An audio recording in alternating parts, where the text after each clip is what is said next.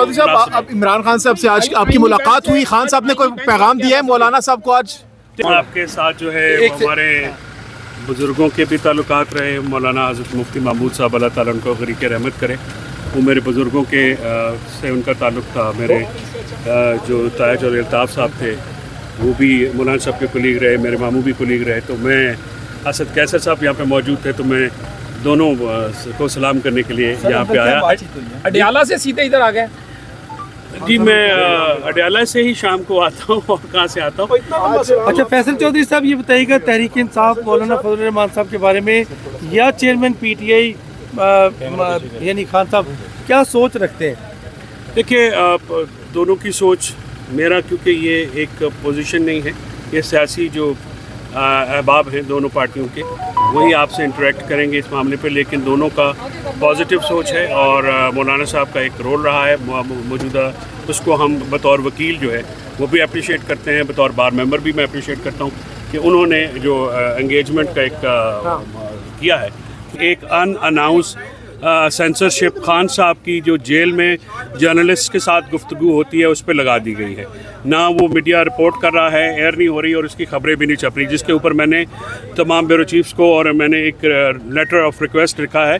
देखिए आर्टिकल 19 ए के तहत ये अवाम का हक है कि इमरान खान साहब की गुफ्तु उन तक पहुँचे, क्योंकि वो बहुत ज़्यादा एक लार्जेस्ट सेगमेंट ऑफ़ पाकिस्तान की जो पॉपुलस है, उसको वो रिप्रेजेंट करते हैं। तो उनके ऊपर आप लोगों के से भी मेरी रिक्वेस्ट होगी और आपके चैनल से या आपके जो ज़िम्मेदारान हैं उनसे मेरी ये रिक्वेस्ट होगी कि देखिए ये अन अनाउंस सेंसरशिप जो है ये जमहूरीत के लिए भी जहर कातिल है और ये रूल ऑफ़ लॉ की भी खिलाफ वर्जी है आइन की भी खिलाफ वर्जी है।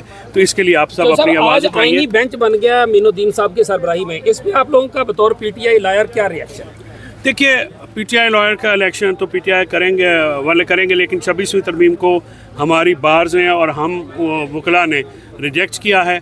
हम उन वकला में से हैं जो कि छब्बीसवीं आइनी तरमीम को जो है और ख़ासकर जो अदलिया से मुतलक हिस्से हैं, उसको तस्लीम नहीं करते हैं। लेकिन हम आइन और कानून के बीच में रह के जदोजहद करने के कायल हैं। हम वकला का उसके ऊपर एक फर्म स्टांस है। हम जो अदलिया के ऊपर और डेमोक्रेसी के ऊपर रूल ऑफ़ लॉ के ऊपर ये इसको हमला गर्दानते हैं। क्या आपका स्टांस जो है छब्बीसवीं आइनी तरमीम पर फ़र्क आएगा उससे? देखिए, छब्बीसवीं आइनी तरमीम के ऊपर जो फ़र्क आता है या नहीं आता हमारा काम है जदोजहद करना। हमारा काम है अपनी आवाज़ उठाना। और अगर एक पाकिस्तान के आइन के साथ, कानून के साथ एक गलत बात हुई है तो उस चीज़ को हमें हाईलाइट करना है कि वो गलत है।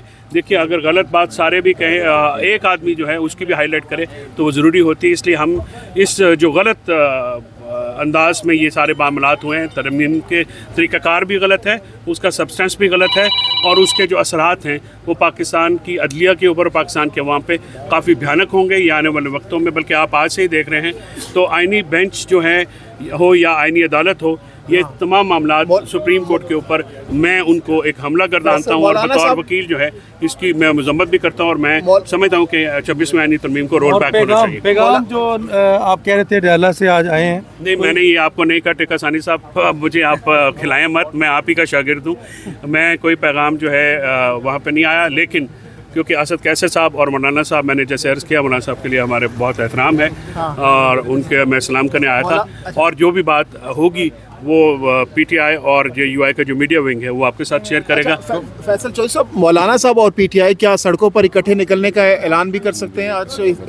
देखिए ये बातें तो अभी जो है दूरस ज़रा है उसमें देखने की बात है लेकिन जो मैं महसूस ये होता है कि दोनों जमातों का मौक़ जो है वो काफ़ी करीब है। तरीक़ेकार पे शायद अख्लाफात हैं तो वो उनकी सियासी जो विंग्स हैं वो एक दूसरे के साथ अगर बात करना शुरू कर देंगे तो शायद वो भी रिजॉल्व साहब कल होने वाली लेजिस्लेशन जो हुई है उस पर खान साहब से आपकी मुलाकात हुई है। क्या बातचीत है? उनका स्टांस क्या था? देखिए मैं वो बता चुका हूँ खान साहब ने जो कल होने वाली लेजिस्लेशन है जो एक्सटेंशन है या उस छब्बीसवीं आइनी तरमीम है उनको यकसर मुस्तरद किया है और उन्होंने इसको जमहूरीत का रूल ऑफ़ लॉ का और इंडिपेंडेंस ऑफ़ जुडिशरी का कत्ल करार दिया है और उस उसमें उन्होंने ये कहा है कि ये तरमीम जो है हम एक्सेप्ट नहीं कर सकते क्योंकि इनको एक्सेप्ट करने का मकसद ये है। पाकिस्तान तहरीक इंसाफ को कोई एहतजाज के हवाले से उन्होंने आपको कहा कि करनी है सड़कों पे आना इस हवाले से? ये उसमें मैं मैं वो मैसेज भी दे चुका हूँ उन्होंने पार्टी को ये मैसेज भेजा है कि पुरमन एहतजाज जो है वो वो हमारा हक है।